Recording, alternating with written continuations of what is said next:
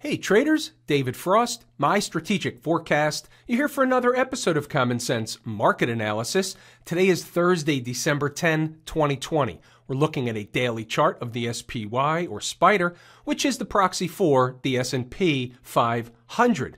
What do we have on the docket today?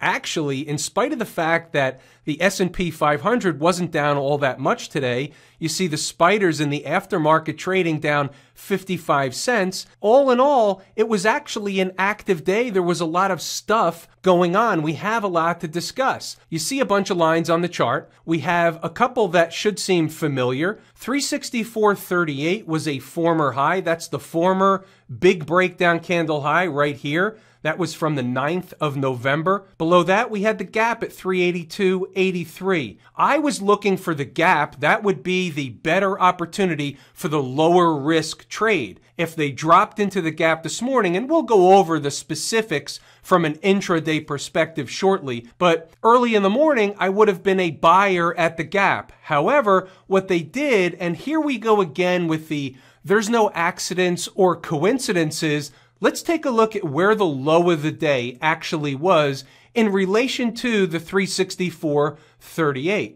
Low of day comes in at 364.43. They come up a nickel short, turn around and head back in the other direction. What did we talk about this general zone? The general zone was basically the market coming back to check in at a former breakout area. Again, it's somewhat subjective exactly what price to the penny where that breakout area will be determined by where the market comes back to check in at. We do the best we can. They came up a nickel short of where I thought the top end of the area actually was. Either way, from a learning perspective in concept, that's exactly what happened. And what we always say was when they come into these areas, it should be good for at minimum of an intraday support slash bounce slash rally away from that area. It was. What else jumps off the page on the daily chart? What else do we have to discuss? Well, do they have to be done on the downside? And the answer is absolutely not. They could go back down tomorrow. They could go back down next week. We don't know that they will or they won't. What we're looking at was today's activity from an intraday perspective, and we're looking at the daily chart. And when you look at the daily chart, you have to separate it from with what happened from an intraday perspective today, only the intraday activity. What I mean by that is basically, this is the way I look at it. From where I sit, the question becomes to myself, and again, inside my head, we all know the routine, dangerous place to be. Did they do enough on the downside to satisfy A, working off some of the fictitious slash unmeasurable overbought condition? Did they come into a former breakout area, run a sufficient test? What about the 20 period moving average? Are they really going to leave it alone? Are they going to leave that gap alone? Do they need to really make some more people believe that a top could be in? Maybe a top is in, maybe it's not. That's not what we're discussing right now. We're discussing what happens over the next couple of days. Well, all that stuff thrown in the bucket, how do we gauge what's going on? Well, yesterday's close is an important spot. It was an important spot this morning. It was an important spot today since we had a gap down. Therefore, rallying back up to reach yesterday's close is the first order of business that the Bulls need to do to get a rescue operation or recovery operation underway. What was yesterday's close exactly? How about 366.85? Where was the close today? 366.73. They spent a lot of time above 366.85, above yesterday's close, yet they closed below it. Does that tell us anything? Well, I think it's a puzzle piece and I think it's on the table. It tells me that they weren't able to close above yesterday's close. Therefore, the rescue or repair operation from yesterday's relatively standard outside day candle, it's not underway yet. The rescue operation isn't underway yet until and unless they can get above and start closing daily back above yesterday's close. That tells me the door is open to both situations.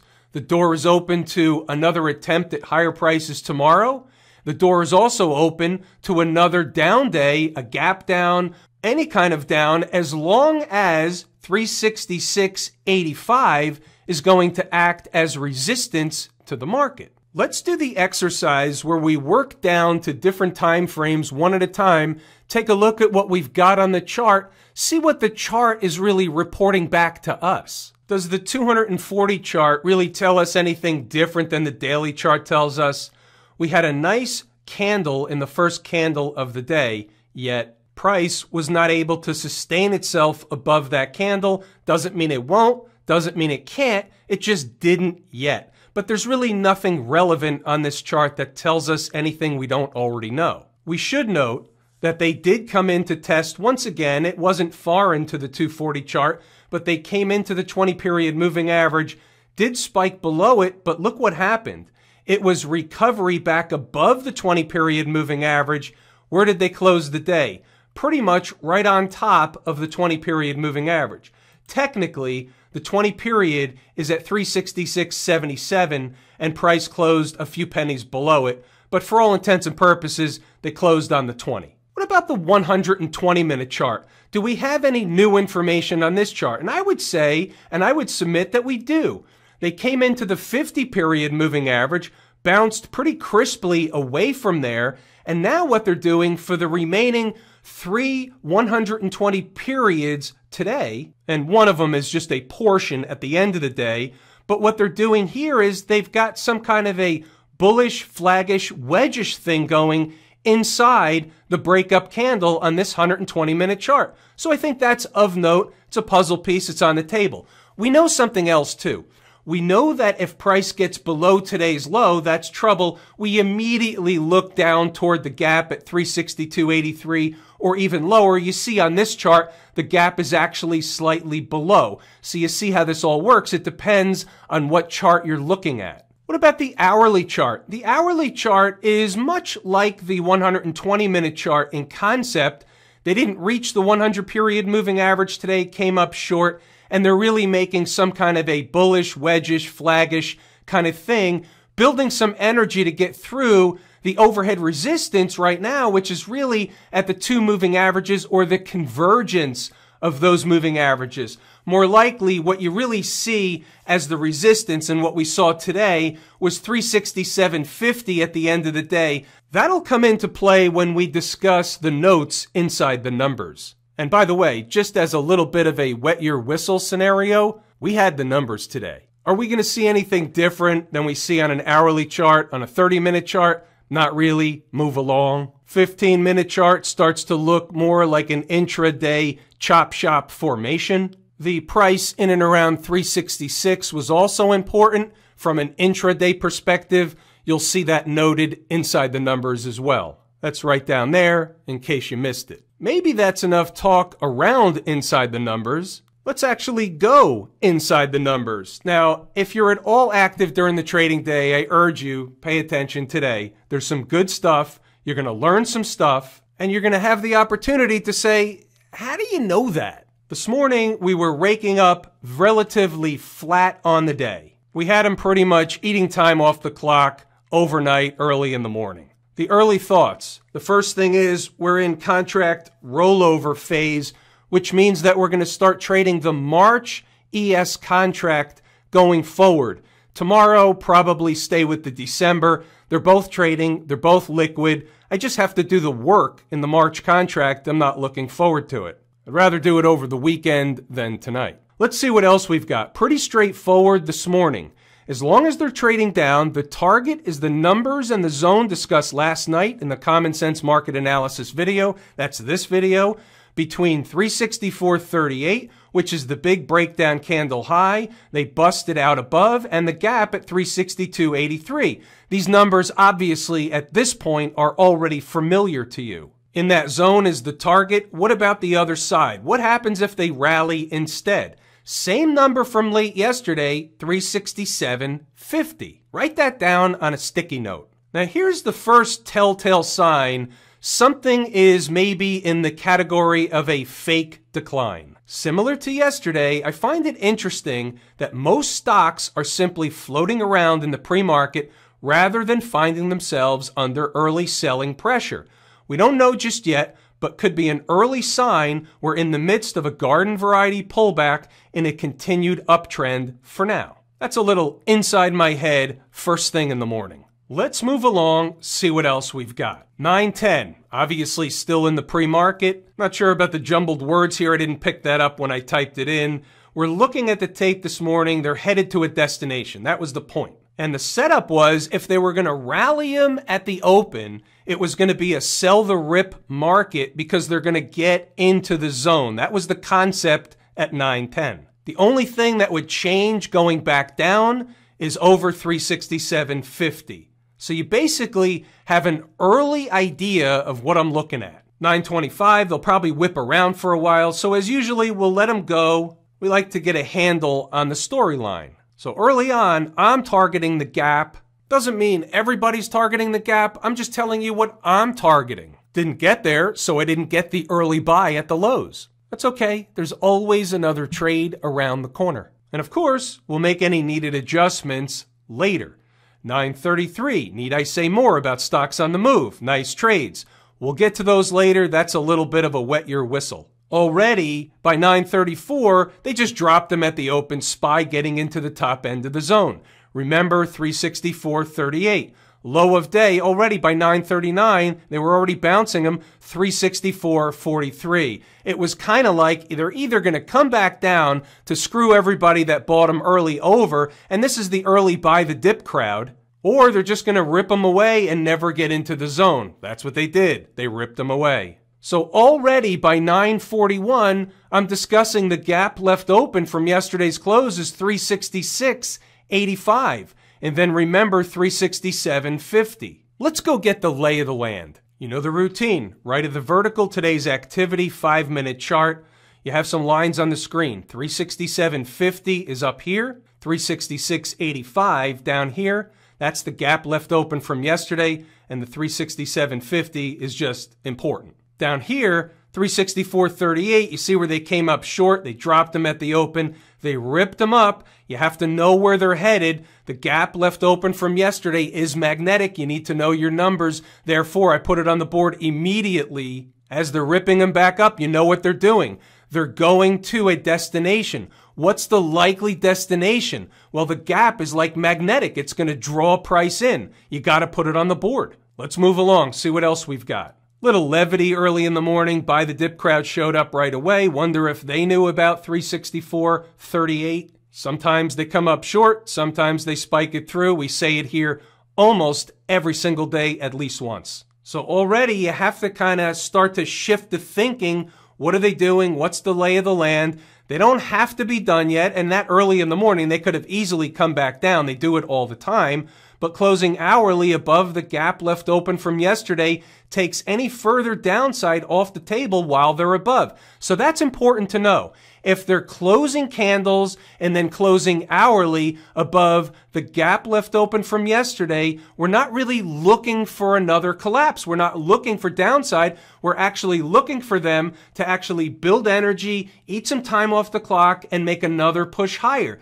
To where? Well, the first step would have been 367.50. Now it's close by and they did that right away, but that's the concept. That's the way this works. Moving right along. Here's another blurb on a couple of these stocks on the move. SBE and SPCE. You never know which ones are going to give you the rocket ride. We'll talk about those later when we go to the charts. I'll save that discussion. Now by 9:55 they filled the gap. Now it's showtime for the bulls to close the hour above. The hour closes at 10:30. A lot of time left on the clock. Still, a lot can happen. That's an awareness. We have to be aware of where we are, what the lay of the land is, what the storyline is, and what the important numbers are. Are they above or below an important number? So now I'm just giving you inside my head more stuff. We don't know for sure, but a lot of the times, and I go with the, this happens the majority of the time, they continue to hang around an important number at the end of an hour. It also reconfirms that the number is in fact an important number. And then here again, 367.50. Moving right along. So by 1003, we're saying 367.50 should remain resistance for now.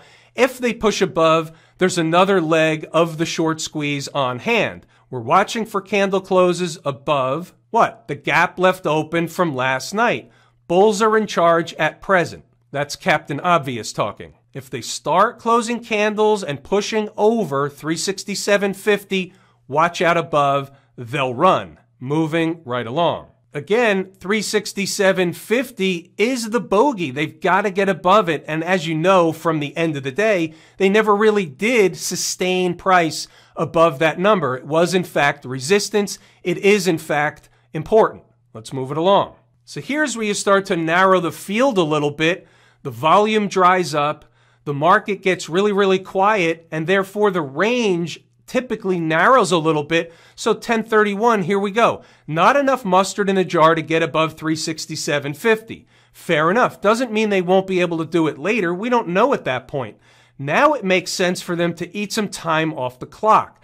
Staying above 366.85 would be convenient and the most bullish thing they can do other than being above 367.50. So you have the numbers, you have the schematic. You move on a few minutes later, if they drop them, 366 or a spike through should be support at least on the first hit. Back to the charts. There's 366, the lower horizontal line, and you can see they did drop them. It was support. They did spike it by a little bit. The low here was 365, 75.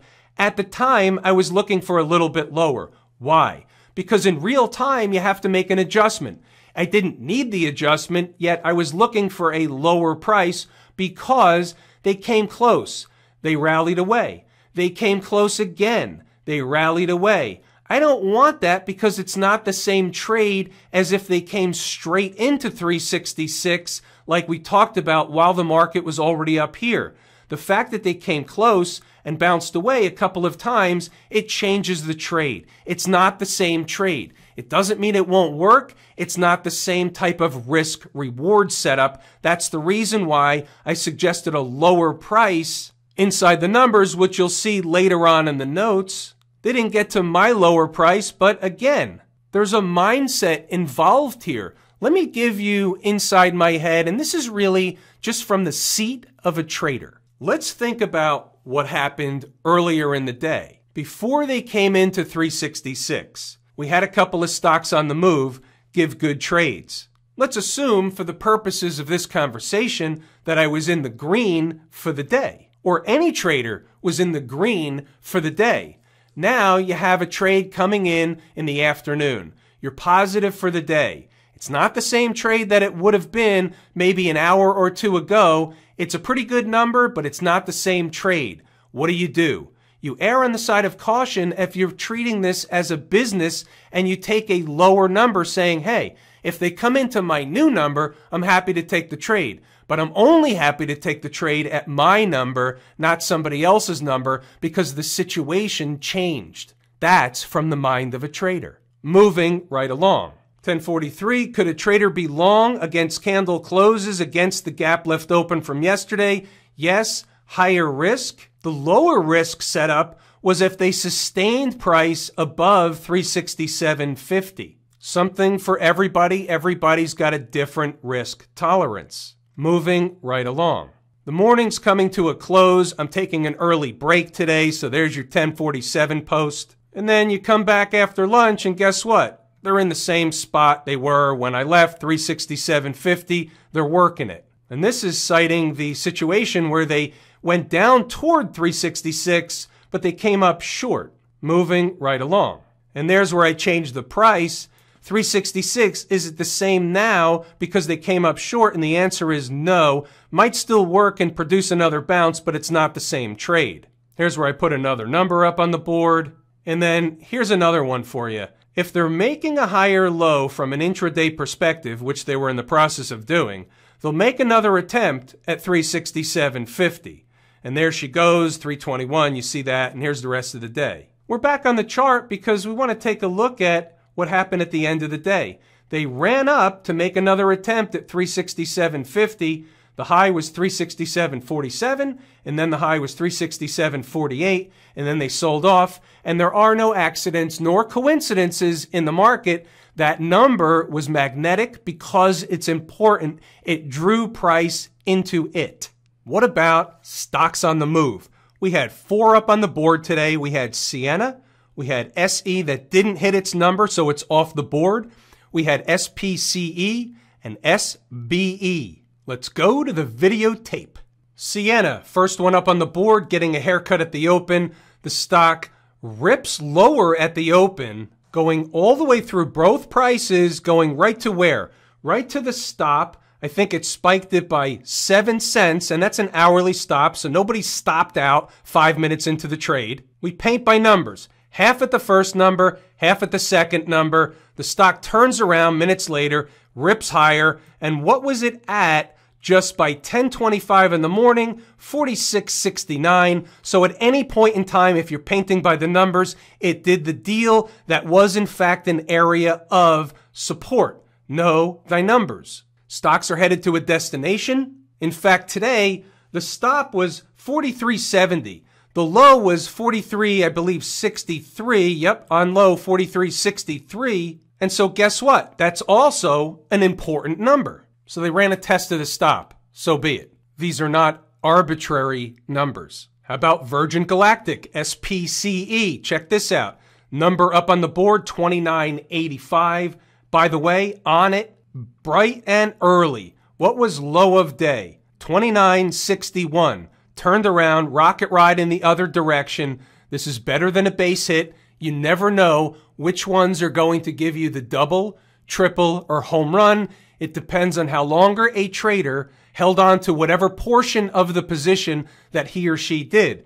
What do we teach? We teach to sell a portion of the position when you get the base hit under your belt because you never know which ones are going to give you the rocket ride. And the only real way I know to make this into an emotionless, risk-free opportunity that lets you take advantage of one of those quote unquote all day suckers, if you will, is to have books some profit and just don't let the remaining portion of what you're holding go negative on you. That's it. You get stopped out a lot, but guess what? You get these too. If you just painted by the numbers with this one alone, it was up at 3260 on the high today. How you doing? How about this one? Switchback Energy Acquisition Corp SBE. Who are they?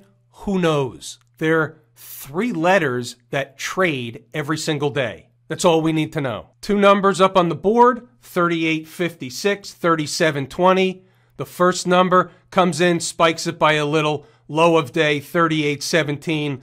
Rip roaring, rip higher within minutes, almost up to 42 bucks, 41.98 in this candle, and then they did it again, and then they did it again. And again, same routine. Painting by the numbers you get more than a base hit on these two, this one and the previous one. It's up to you whether or not you want to employ that strategy, but the strategy works when it works. When it doesn't work, you still got a win under your belt by getting a base hit. What's going on over in Camp IWM? Guess what? Big up day. Well, I shouldn't say big up day, but an up day 1% nonetheless, almost two bucks. Is anything wrong with the IWM? Absolutely not. They're knocking on the highs they made yesterday. Nothing wrong with this chart. Just move it along. By the way, before we move it along, I should note this is my favorite market leading indicator. And what's it telling us? That there's nothing wrong with this chart. My second favorite market leading indicator, the folks down at the transportation department, however, had a pretty decent down day, down about 1%. They were down more earlier. They had a nice little recovery it's in an uptrend. They didn't even get to the 20 period moving average yet. It's just a down day. Nothing more, nothing less. The trend is your friend until it's not. Just to put it in perspective, unless something weird and wacky happens on Friday, what's the likelihood that this is going to remain in an uptrend through the end of the week? And the answer is it likely will, unless they're going to sell off a couple of thousand points it's extended from home base. They can banter back and forth. They can have some other down days and they can still remain in a long term uptrend for a while. you start getting below 12,500 on daily closes, start pushing below the 20 period moving average, and there's likely some more downside. Until and unless something like that happens, they're just in a daily chart chop shop formation. Here's an interesting one. The folks out in Silicon Valley, the Qs. So here's what we've got. We've got a nice reversal candle yesterday, and today they have a bounce come up short of the 20 period moving average and have a bounce back to where? Interestingly enough, and this is how you know these numbers are important, 303.50. They went slightly above it. 303.68 was the high, but yet they closed below it. So that's going to be our line in the sand for the time being. Are they going to work their way up the breakdown candle? It's possible. How do we know that? Because markets do that over and over and over again. Did they close the day inside of yesterday's close? The answer is yes, they did. So here, the contrast to the SPY is they filled the gap and they closed above the gap. The SPY fills the gap but didn't close above the gap. So that just to compare and contrast the markets, when you look at the charts, the same rules apply. Doesn't matter what the name on the chart is. And this is how we gauge one market versus another and one's weaker, stronger, and some matter and some don't. So for example, if money's going to run into a market, is it going to run into the Qs or into growth type stuff before it runs into the Dow stodgy stuff? And the answer is probably yes. We're just talking around things. So I'm saying that there was more buying pressure today, which pushed price over yesterday's close, allowed them to close of it. But technically speaking, any way you want to look at it, that's a positive development for the Qs. Back below it, not so much. Financials, XLF, anything wrong with this market? Absolutely not. You know what the target is? The target is 30 bucks. What are they doing right now? They're eating time off the clock. They're going back and forth.